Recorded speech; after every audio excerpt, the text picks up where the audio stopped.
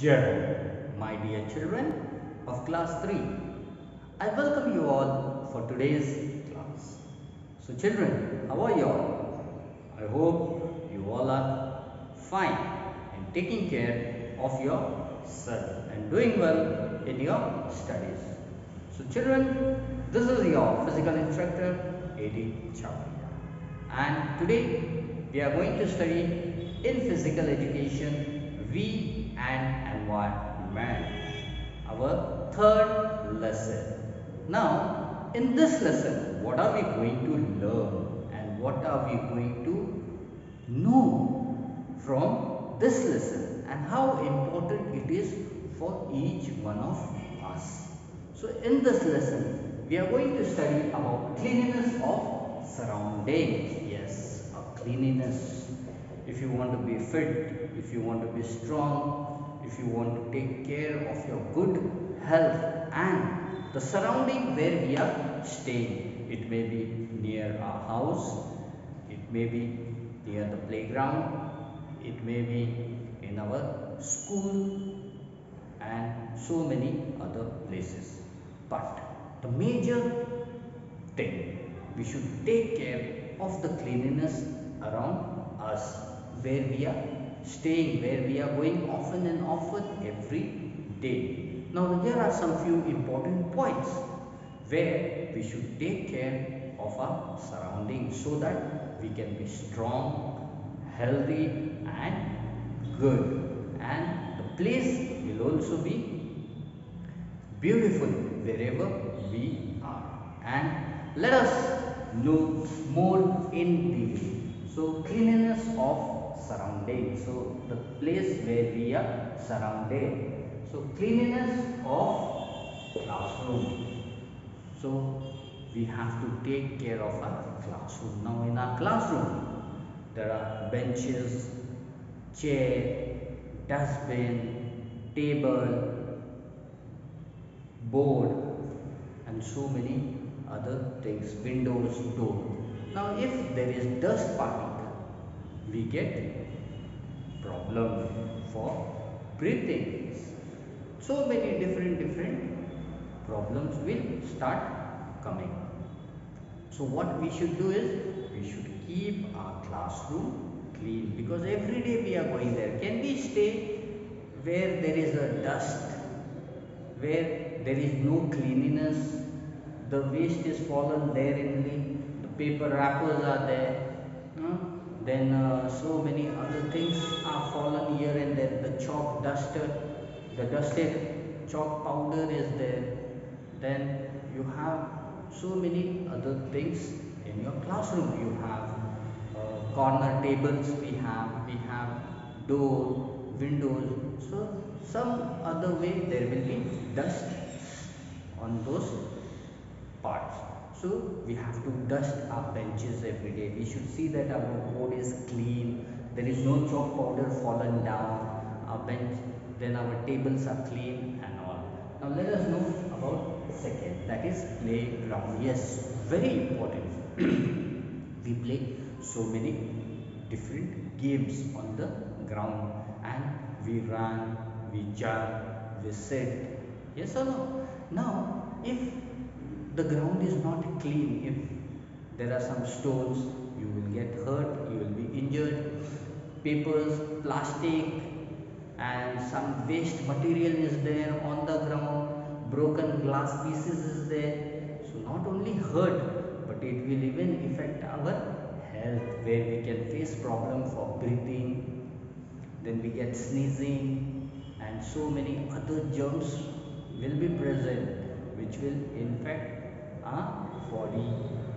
And in this way we will fall sick we will fall ill. So we should clean even our ground because we, will be playing over there we will be sitting on the ground we will be running on the ground. So we should see that our playground is clean. Now point number three. It's very important our toilets because often and often it may be most probably you take care in your house. So whenever you are going for toilet see that before the use of the toilet you should flush the water properly. After use of the toilet again we should flush the water properly. Now what happens if we don't flush the water and if we don't keep our toilets clean? Lot of germs will be present in the toilet so which we Uh, you get some bacteria you get some germs the flies which are very dangerous for our health and we may fall sick. So there are so many diseases happening to us. If we don't use clean toilet we don't use it properly and if we go in the, the dirty thing we get affected by so many flies which will be present in the toilet. So before use of the toilet we should flush the water properly. We should see that it is clean and after the use also it should be clean. And now point number four that is our bathroom. When you are in a house see that the wall tiles are there usually. So the water is not stagnant over there. It is going properly in the pipeline hmm? you have kept your things properly your soap brush, paste, shampoo and whatever required material in the bathroom is needed. So you keep your bathrooms also clean and use proper water to take care of your health so that even through that water or through that cop well so many germs will be wandering here and there in the washroom in your bathrooms too so you should clean and keep your bathroom clean and fresh so that you will not fall sick. Then our home it may be our kitchen it may be our bedroom it may be our hall our study room. We should see that every day we broom our house. If you can you are most welcome to do your housework if some uh, workers will be there, some maids will be there at your home. So see that they clean the house. But as your responsibility, see that you will not throw your bag here and there, your clothes, your shoes, your socks and so many different playing materials you will be having. So everything should be placed properly. So you should see that your sofa set is nicely dusted. There is no dust on it. It has been clean. Brooming has been done or no your clothes you have kept in your cupboard. Not throwing. And the used clothes you are keeping back not in your cupboards. You are throwing keeping in for washing. So this is how you are going to take care of your cleanliness in your house then it your benches are there uh, this tables are there study table bench is there. Or whatever materials are there in the house see that everything is arranged properly and the cleanliness part also you are taking care of it. So this way you are going to take care in your house.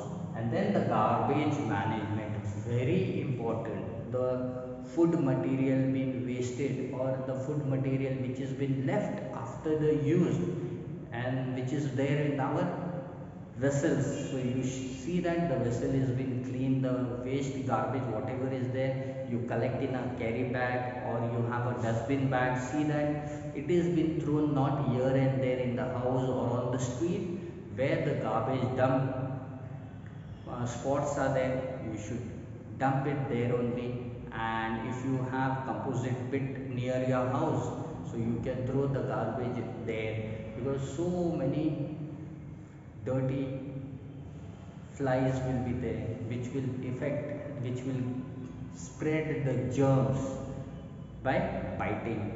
Mosquitoes will come there flies will be coming there. So the garbage management should be taken care. How you are going to take? You are going to use dustbin bags or you use the dustbin and it should be thrown in a proper garbage place only it should not be thrown in the street or in the gutters or not be kept longer in our house. So children, this is about the cleanliness of our surrounding where we are staying, where we are playing, uh, where we are going for walk and so many other places near our house or our school surrounding. so this is about the cleanliness we are going to take care. So these are the place and this is the way you are going to learn to keep your surrounding clean so that everyone is fit everyone is healthy and along with everyone even